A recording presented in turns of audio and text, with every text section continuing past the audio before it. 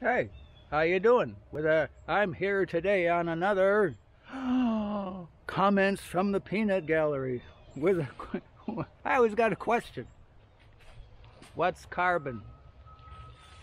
What is it? What does it have to do with the number 666? Oh no, that's a terrible number. Should never use that. If it's on your locker, you get a new locker because you don't want a new locker with the number 666 on it because it's bad. Oh, we have right behind you, in front of me, we have a carbon unit walking around. Here, I'm going to turn so you can see the carbon unit that's walking around. Oh, there she is. She just had a calf just a few weeks ago. It is another carbon unit.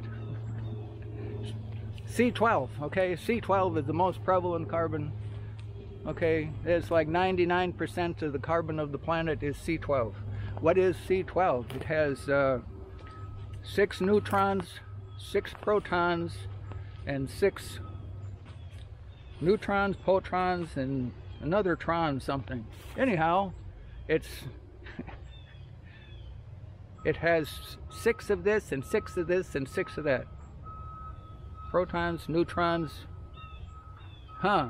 You can tell I'm not a scientist, but I've looked at it enough to know, hey, it's the, the number attributed by man to this thing called carbon. And carbon is what you are made of. It's what I am made of. Everything that you see around me here is made of carbon. All of this stuff. See, look around. We're cutting trees down for the timber frame stuff that I'm working on and to get more pasture. And you see a lot of carbon hit the ground. It has been sequestered in the trees. it's held captive in there. And now, as soon as I cut the tree down, the carbon is released into the atmosphere because the tree is dead. At least that's what they figured, you know? but it is a circle. It is the primary building block of the planet. It's the way it was designed. Carbon is the sixth most prevalent, again, a number six, sixth most prevalent substance of the planet. Carbon, of which 98 point, it's like 87, 98.87% of carbon is the C12 carbon. Most common. That's, that's like almost all of it. So Oh, here comes another one. Another carbon unit. You see her back there? Where is she? Uh, oh, she's over there more. There she goes. She's going to have a calf in a couple of weeks. There she is. Yeah. Kind of late in the year to have a calf, but we didn't we didn't get Jackson in here till it was kind of late in the year. But the uh, the rascal did his thing. We got uh, three calves that are this year. So third one is still to be delivered, but she's there inside of that big mama cow, Highland.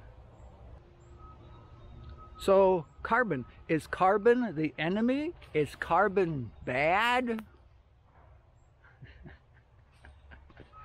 oh, it says, and this beast that has the number 666. Okay, you see all the trees down around me? All the trees.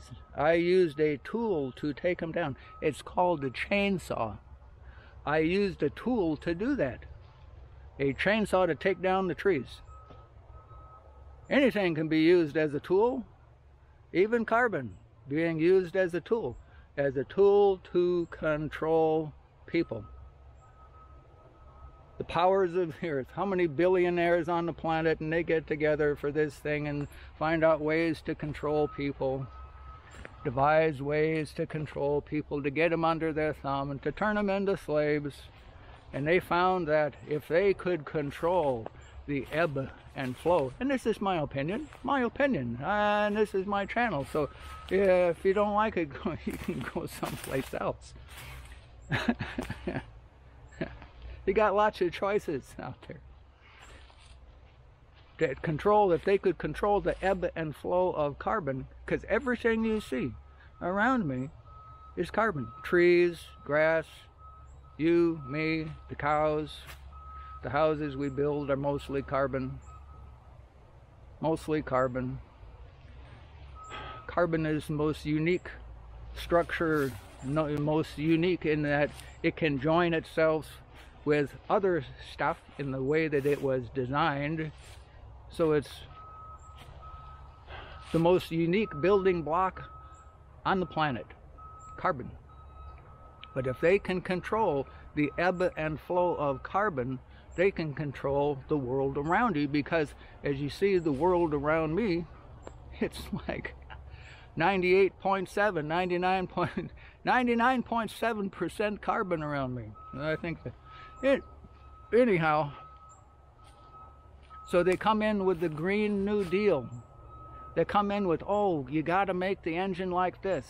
You got to make the engine like that because you can't buy that engine. You can't buy a vehicle that doesn't have the correct carbon number on it. if it's not doing this certain thing as far as the carbon is concerned, you can't buy it. You can't sell it. There's stuff. California, you want to go to a, an online auction and get something, there's all sorts of stuff. Oh, things that have tier 3 engines and tier... Oh, if it's got a tier 2 engine, if it's just a diesel engine, you can't even like run it in California anymore.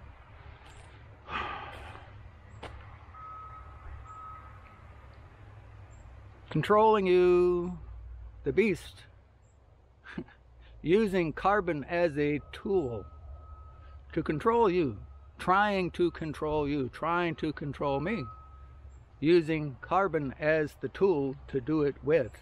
It is the most prevalent substance of the planet, of the world that we live in, the stuff around us. even, oh, you breathe and you exhale carbon. Huh, yeah. And those cows, here, I'm going to turn so you can see how this thing works. Because I cut the trees down and I leave them sit there for a day, maybe two, while the cows come along and eat the leaves. And then those cows that eat the leaves, carbon, the mamas, the ones that are mamas already, one is turning it into a calf. The other ones, they already, the other two already had their calf, and those calves are drinking carbon that has been transformed from a leaf or hay or grass into milk. Carbon again.